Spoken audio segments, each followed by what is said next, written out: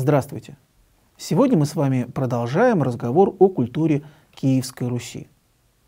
Как мы с вами уже сказали, на Руси строилось множество городов, и все они имели очень похожий друг на друга план. В центре любого города находилась крепость. Тогда она называлась Детинец, а в более позднее время ее названием было Кремль.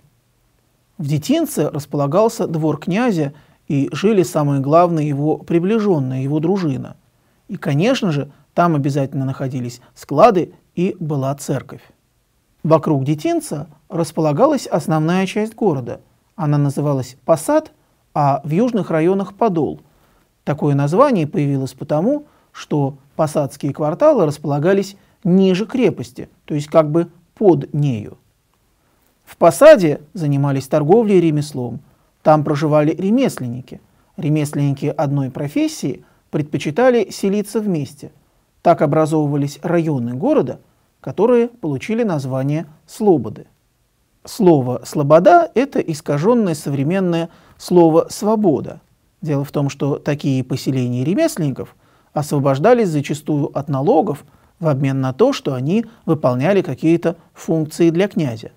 Например, оружейники вместо выплаты налогов деньгами должны были поставлять князю оружие, а специалисты по металлообработке должны были ковать кольчуги и выполнять другие работы для князя и для княжеского двора. Таким образом, подавляющая часть населения древнерусского города проживала вне пределов стены крепости. И в том случае, если на город нападали враги, Этим людям нужно было где-то укрываться.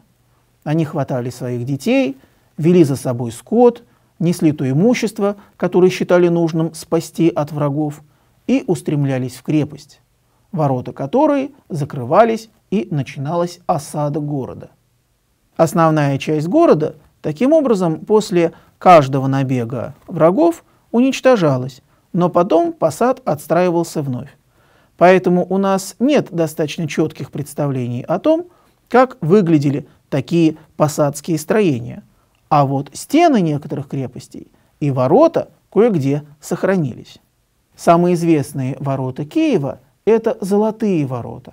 По их размерам, даже при том, что золотые ворота сохранились не в том виде, в каком они были построены во времена Ярослава Мудрого, мы можем судить о том, каким большим был Киев – в XI веке.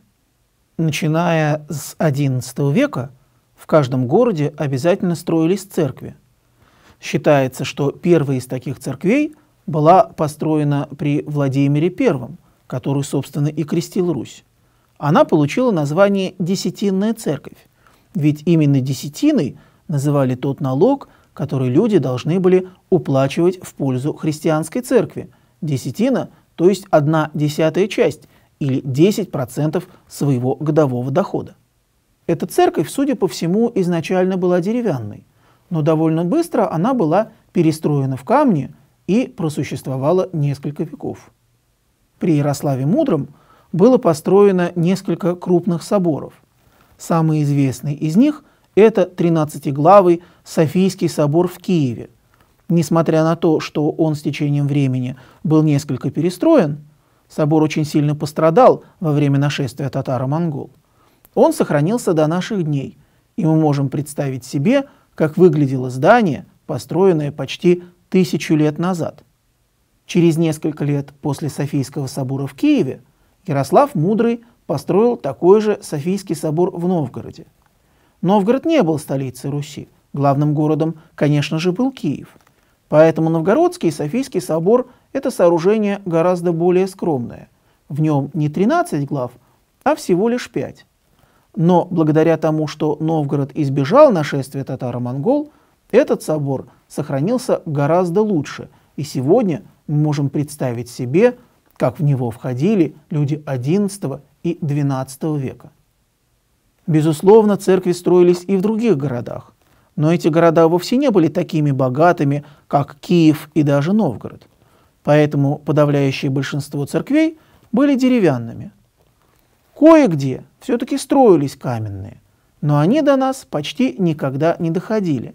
Этому очень не способствовало то, что Русь находилась под татаро-монгольским игом на протяжении 200 лет.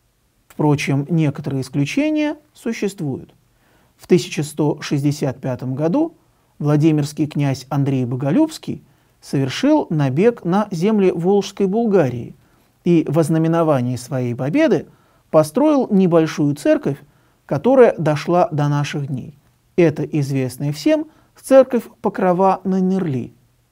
Эта церковь располагалась и располагается до сегодняшнего дня неподалеку от Владимира и совсем рядом с бывшей княжеской резиденцией в Боголюбово. Там располагался двор самого Андрея Боголюбского. Конечно, у Андрея Боголюбского не было столько денег, сколько было у Ярослава Мудрого, поэтому построить собор ему наверняка было не под силу с финансовой точки зрения. Церковь Покрова на Нерли всего-навсего одноглавая, но даже в этом виде она позволяет нам представить себе, как внимательно князья относились к строительству подобных сооружений. Церковь Покрова на Нерли считается жемчужиной русской архитектуры еще и потому, что таких церквей до наших дней практически не дошло. Многочисленные потрясения, которые были в истории России, начиная с XII века и заканчивая веком XX, очень не способствовали тому, чтобы памятники архитектуры сохранялись до наших дней. Кроме архитектуры, в Киевской Руси развивались и другие виды изобразительного искусства. Из Византии были заимствованы такие виды, как мозаика и фреска. Мозаика – это способ составления картинки из небольших кусочков цветного стекла. Такое цветное стекло называется смальта. Именно в технике мозаики были выполнены изображения в Софийском соборе времен Ярослава Мудрого – и многие из этих изображений, несмотря ни на какие войны и разрушения, дошли до наших дней. Еще одним важным видом изобразительного искусства в Киевской Руси была фреска. Так называют живопись по сырой штукатурке. Фреска довольно недолговечна, и поэтому такие изображения до наших времен сохранились не с эпохи Киевской Руси, а только от гораздо более близких к нам времен – XIV, XV, XVI века. Тем не менее известно, что первые фрески создавали византийские мастера, и довольно быстро славяне сами научились изготавливать такие изображения. Из Византии на Русь пришла и техника иконописи. Первые иконы и самые известные иконы были привезены именно из Константинополя, в разное время и при разных обстоятельствах они были подарены киевским князьям. Но от конца истории Киевской Руси до нас дошли и иконы, созданные русскими мастерами. Особенно активно в этом отношении была Новгородская школа иконописи, которая продолжала работать даже во время татаро-монгольского нашествия на Русь.